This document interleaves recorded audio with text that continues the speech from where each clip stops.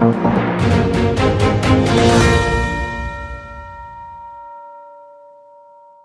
Allora, questo nasce, eh, progetto nasce ormai da tre anni fa e poi per motivi pandemici abbiamo, abbiamo dovuto mettere in stand-by. Oggi finalmente riusciamo a presentarlo, presentiamo una mostra di arte contemporanea con il progetto Contemporanea all'artista Pietro Ruffo e presentiamo l'apertura della Casa Museo. Casa Museo è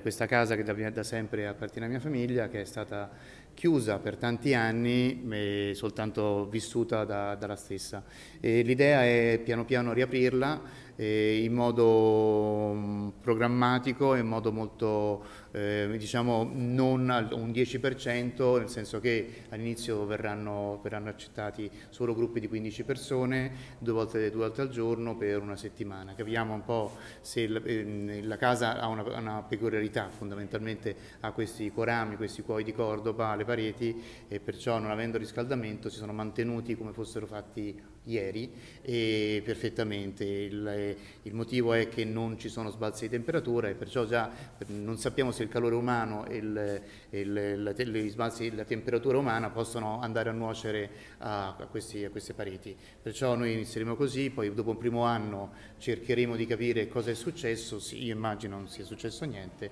e perciò avremo la possibilità di aprirla ancora di più. L'idea è di creare un polo aggiuntivo all'offerta del Comune di Siena e della città e poter dare anche noi il nostro contributo alla città. Ecco, eh, apriranno fra 48 ore praticamente le visite, spieghiamo come fare a prenotarsi per queste visite e cosa c'è poi da vedere in questo palazzo. Assolutamente, Beh, le visite innanzitutto eh, della parte contemporanea, perciò nel cortile, apriamo domenica al pubblico, poi saranno aperte dal martedì alla domenica e mh, mm, sono gra gratuite, basta venire al vicolo del Pollaiolo, uno si mette in fila e lì abbiamo l'entrata eh, dal suo nominativo e si, si misura la febbre ed entra, ed entra poi ad assistere a, a quell'installazione immersiva dell'artista Pietro Ruffo. E, mm, e, e l'apertura è dalle 7 alle 10 perché c'è un video mapping perciò abbiamo bisogno dell'oscurità. E invece per quanto riguarda la casa museo eh, c'è un sito internet che è www.palazzochigizondadari.com dove c'è visite, uno si può segnare, trova lo slot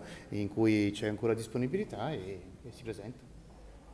Devo dire che Flavio Misciatelli è intanto un grandissimo fascitore di arte e di cultura, voglio dire, quindi ci siamo trovati subito benissimo ma eh, e quindi lo voglio ringraziare perché questo palazzo fra l'altro ha una centralità anche da un punto di vista proprio della collocazione che consentirà di avere eh, una serie di dialoghi e con la, la, il nostro eh, museo civico e con il, ovviamente il Santa Maria della Scala, OPA e, e, e ovviamente la cattedrale. Quindi da questo punto di vista mi pare che avere aperto per, eh, per, mostrare queste opere d'arte così straordinarie come quelle di Ruffo, che è un autore che non ha bisogno di spiegazioni, eh, credo che sia eh, un'operazione un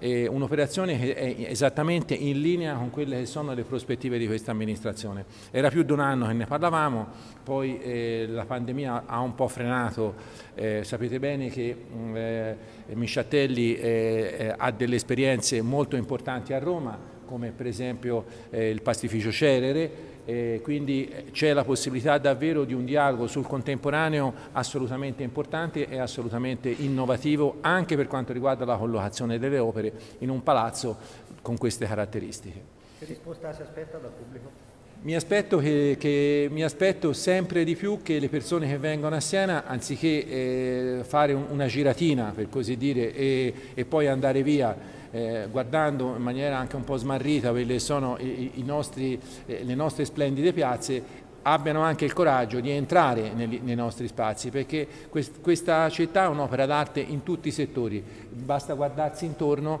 eh, un'operazione di questo genere significa aprire un mondo e una tradizione e anche una storia di una famiglia che eh, ha potuto fare un'operazione così eh, evoluta sia da un punto di vista edilizio sia da un punto di vista artistico. Quindi il tema è che sempre di più eh, il turismo eh, si trasformi da mordi e fuggi in un turismo più attento e più rispettoso di quelle che sono le nostre tradizioni.